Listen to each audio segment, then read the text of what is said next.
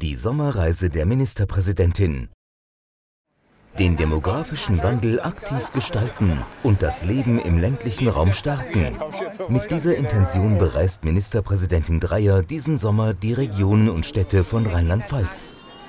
Durch ausgesuchte Projekte und zahlreiche kommunale Beispiele informierte sich Malu Dreyer vor Ort, wie etwa in der neu eingerichteten Kindertagesstätte in Lahnstein und führte intensive Gespräche mit den Menschen.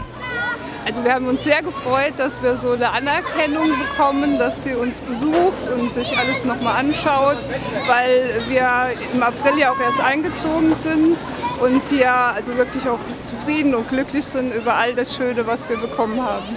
Dabei standen neben den demografischen Aspekten auch immer wieder aktuelle Themen, wie etwa der Umgang mit der Flüchtlingsherausforderung, im Fokus der Gespräche. Zusammen mit Bundesfamilienministerin Manuela Schwesig nahm die Ministerpräsidentin zahlreiche Anregungen von ihren Treffen mit den Bürgern mit für ihre tägliche politische Arbeit. Ja, Rheinland-Pfalz gilt als Vorzeigeland, gerade wenn es darum geht, wie werden Menschen alt, äh, wie kann man gute Projekte machen mit Pflege, mit Wohnen.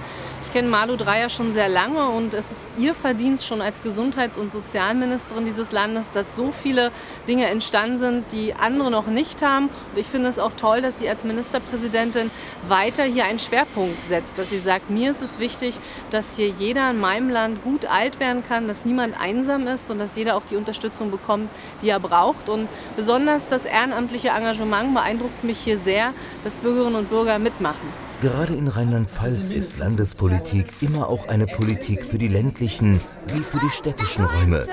In allen Politikbereichen und bei allen zu gestaltenden gesellschaftlichen Herausforderungen.